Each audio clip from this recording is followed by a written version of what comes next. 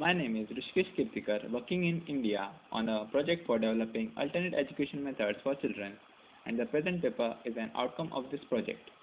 The title of the paper is A Problem Solving Approach for Science Learning, which provides a new method for science education in the initial stages where children begin to understand science concepts and also begin to understand what is science and what is its nature. Today, the traditional teaching methods are widely challenged for their inability for a holistic learning among children.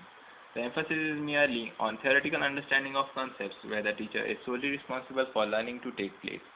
It lacks an active learning environment and children are unable to understand the application and actual use of knowledge in daily lives.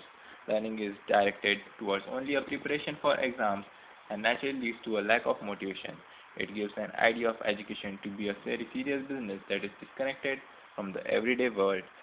These are the most fundamental problems in education, and in spite of the innumerable innovations, we are unable to find a solution that can be implemented on a large scale and can replace the traditional practices. The present method is an effort to find an alternative that can lead to a holistic development of children beyond acquiring of knowledge. Its simple objective is to develop an activity-centered model for science learning. However, it's not about using activities for teaching of concepts or as a supportive to curriculum that are widely used today in various innovations. Activities are of primary importance here, while the aim is to derive a method that is child-initiated and allows him the freedom to, in doing things rather following a pre-planned curriculum. This is necessary for genuine thinking to take place and develop an interest in science. Knowledge has to be acquired only when it is of actual meaning in activities and is useful that gives knowledge its actual value. The project is being conducted in a small village in India for the past one year. It is working with school-going children of 10 to 12 years of age from 5th to 7th grade. It conducts regular sessions with around 15 children of the village. Making science-based toy models are the main activities of the group. Working on various science principles, hundreds of such toys have been designed by Professor Arvind Gupta, a scientist and toy maker in India. They are low cost and can be made from easily available materials such as the first toy, which is a balloon car. It can be made of paper cup, cardboard wheels, balloons, straws, etc.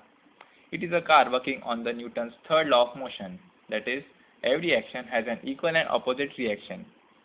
The balloon can be blown from the straw attached to it and after leaving it, the car runs to the opposite direction of the airflow.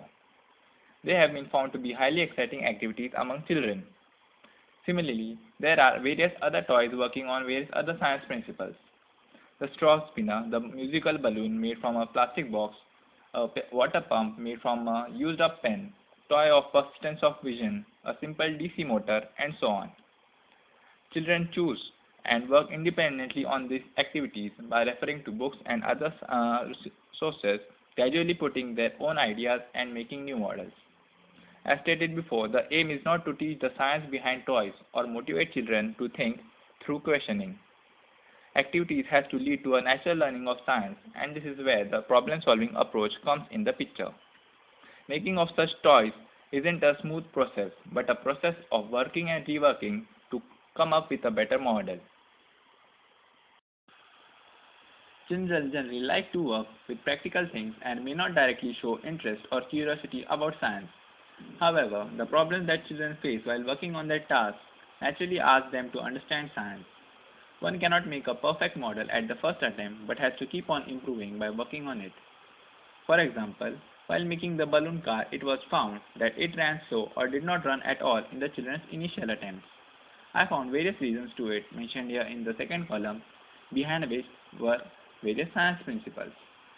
One reason can be a block in the airflow through the straw, which can be due to tightly joining the balloon by a rubber band. It asks to consciously know that air provides the push to the car and thus helps to work on solutions accordingly. Here, it's not directly possible to lead to the principle of law of motion, but can later be understood through discussions and readings. There can be various other reasons behind the car not running or other problems that ask to understand still other science concepts. Sometimes the car tilts in the front after blowing the balloon, which is due to the weight of the air. It helps the child to know the, this air property and about the center of gravity which is which then guides the working on the solutions. Thus a single toy can cover many concepts that are otherwise taught in separate lessons throughout the year that are disconnected to each other. The range of toys children make and problems in them opens up opportunity for a new way of science learning. Though working on problems is a natural process, such a tool of writing down problems in a chart can become more useful in case of making complex models, systematizing the process. It gives the child a framework for thinking and also reflects on the process and learning taking place. Toys can be helpful for the physics part of science education. However, other simple activities like making a garden in the community or engaging in agricultural activities develops learning about plants, soil, their growing processes, effects of climate on them, learning on climate, earth atmosphere, etc. The use of problem-solving method in such activities is however yet to be experimented under the present project. The method not only leads to science learning but generates range of skills among children, identifying problems, observing facts, finding out reasons, analyzing them to find solutions, etc. All is what makes a dynamic learning environment. More important, it, it gives an opportunity to discover the science by self and knowing that knowledge isn't an already existing entity but something to be searched for and is all around everywhere in small things rather only in science books and laboratories. Thus, the learning process starts from experiencing and hands-on activities rather through a pre-planned curriculum. The skills that are put in the process then lead to knowledge. It is thus a process from practice to theory and from unorganized thinking to an organized form of knowledge. Our innovations so far have been mostly centered on knowledge and curriculum as a starting point for which methods are developed. Knowledge is rather only a natural outcome of working on practical things. Books can become meaningful and useful only when they are directly related to what one has already done. To talk about its advantages, it provides a highly cost-efficient model that can be implemented on a large scale. Being a child-initiated method, the teacher is not required to employ new teaching strategies but only has to be a facilitator in the process.